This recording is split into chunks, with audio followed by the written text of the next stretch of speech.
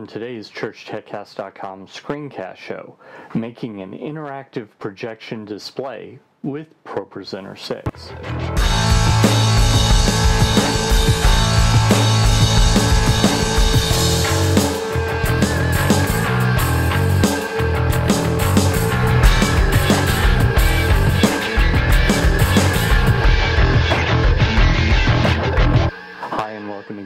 ChurchTechCast.com screencast show. This is the show where every week I help you with the software that we use in the church, which over the next couple of weeks isn't only going to be ProPresenter, but we'll talk about that in just a second.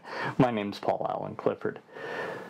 So, what you may or may not know is that I spent the last week at SALT 2016, which is a church tech, arts, leadership kind of conference.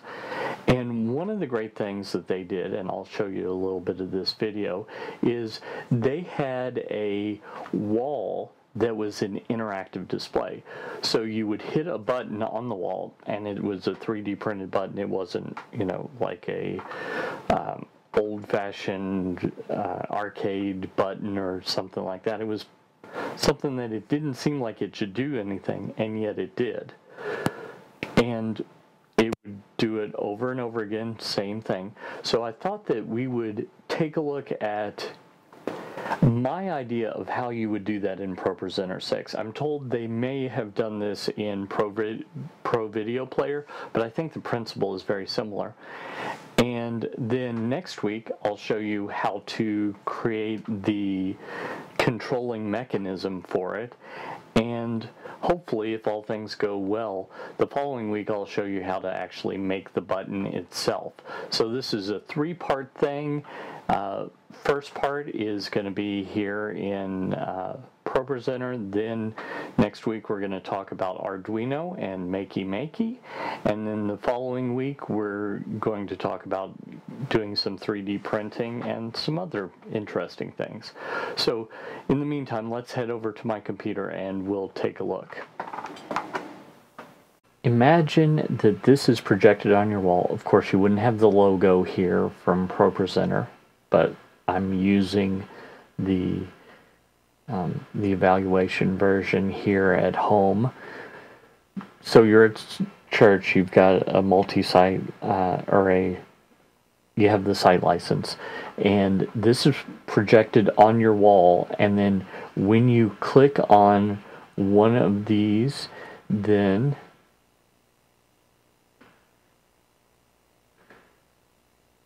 you find that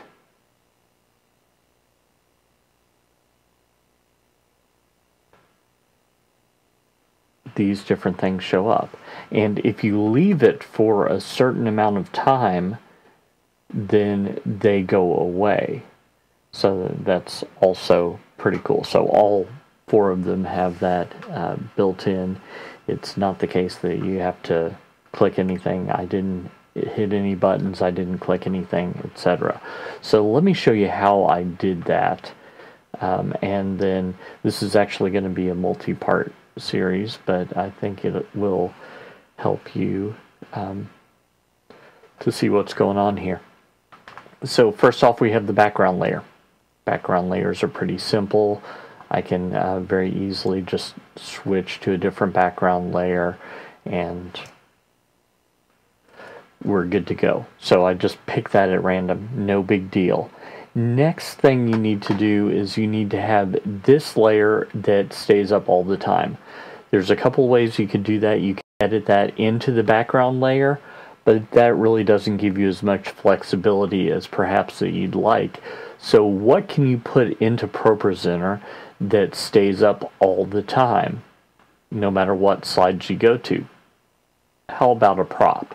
So that's what I did. I went to Actions, uh, actually View, and then Props, and I created a new prop here. This is that prop. Let's take a look at what I did in here.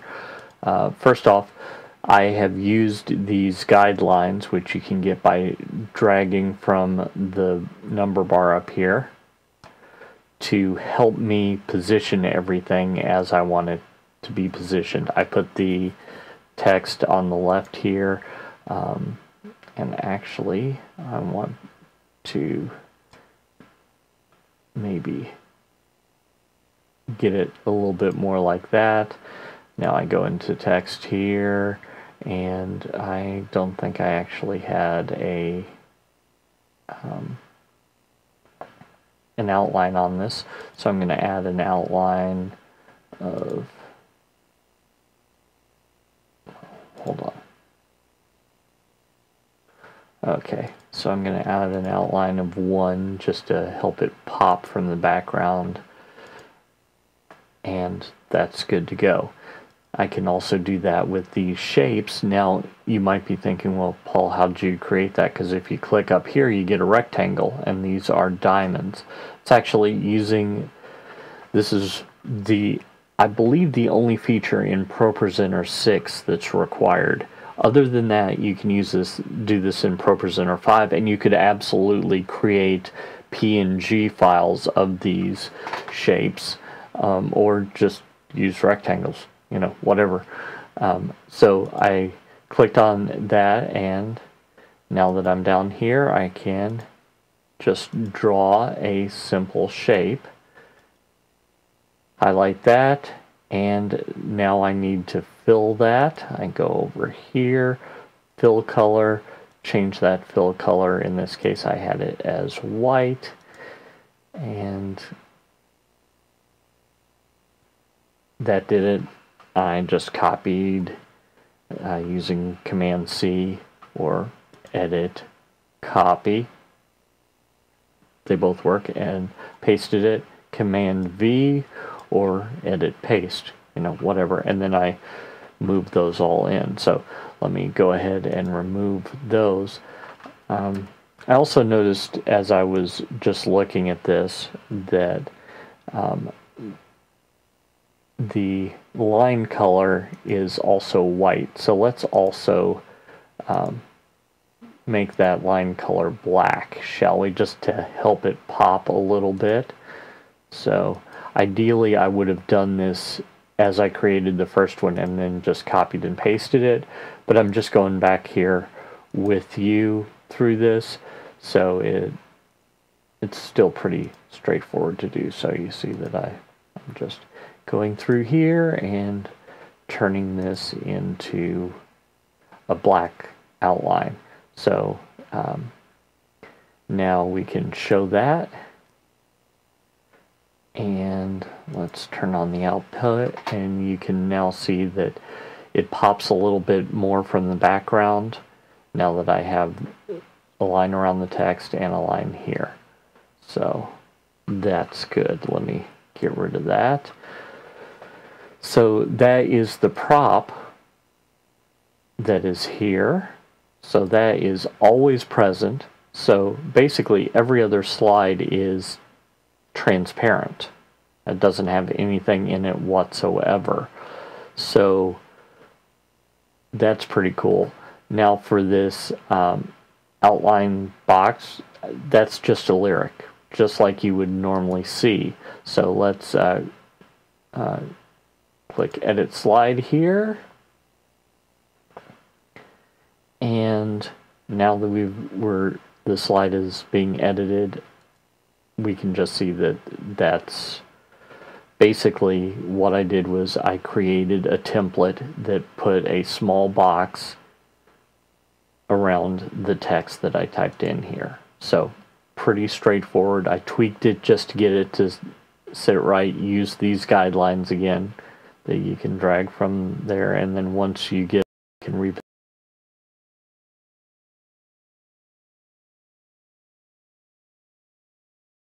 that's pretty straightforward um, the other thing that I there are two other things that I did to really sell this effect the next is under um, no it's actually not under text properties it is right here under this guy you see hotkey so I changed the hotkey to A. Could be any letter on your keyboard. Depends on how you're triggering this.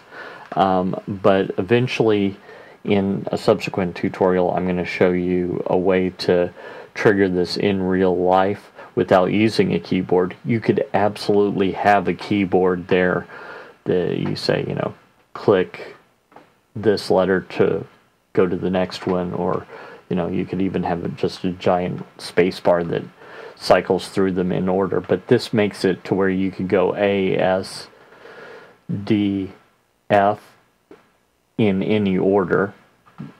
And those are triggered by buttons, which we're going to talk about in a later uh, episode, a later tutorial. But one thing I also added in is I added a go to next timer that after 15 seconds makes this go away. So let me show you this effect as well. You'll notice that it, the whole thing comes in from the left. That's again something that can be done in ProPresenter 5 or 6 because this whole slide is pushing in. So, and you saw that it just went to a blank slide. When you're looking at the full screen, you can't tell that this blank slide is different from this blank slide from this blank slide. It's just the same. So if I have that one, if I have A going and then I go to D, it replaces it. Uh, if I then decide I want to go to S, and then F. So you see how this all works. Pretty straightforward, uh, pretty obvious. And these are just transitions. You'll notice that I'm using the push transition down here, but I could have chosen any transition for this. Um, so this pushes in from the left. Very straightforward. Um, I could have done um, well, let's do a fly in. So um, do that. And so now, now you see how they fly in from here? I could do that as well. So that is just the transition, which normally I dissuade people from using that in worship. But if you're doing this in your church service. In your church service, not so good. For a display in the lobby, for maybe digital signage for the kids, etc. Um, this would absolutely work. And it doesn't necessarily have to be a projector, by the way. This could easily be a uh, flat screen TV with buttons underneath it where the um, these little arrows point up and then you press a button underneath and the things show up. Just use your imagination. Um, but this is a really easy thing to do in ProPresenter 6 that looks really, really cool. Um, and I think once we get done with this series, you'll just think of a lot of uses for this. Um, and quite frankly, some of you are probably going to want to upgrade from just a single uh, ProPresenter instance to the site license just for this because it's really not all that that much money and you can use this all over campus and it looks like you spent tens of thousands of dollars where the software was just a little bit more money then it's a computer and then a couple other parts so, um, hope that that helps you. Well, wasn't that interesting? So, by using hotkeys and props and backgrounds in just the right way, you can make something seem interactive. Now, of course, people aren't in, entering in their own information. There's a lot of things. But you do have the ability to make it seem like you hit a button, and something comes in, you hit any other button and something else comes in. Non linearly, while most people might go one, two, three, four, they could very easily go two, four, three, one, or any combination thereof. So that's something pretty neat. Uh, one thing I should mention look for a link um, in below the video in the description because I'm going to let you download everything that I can from this.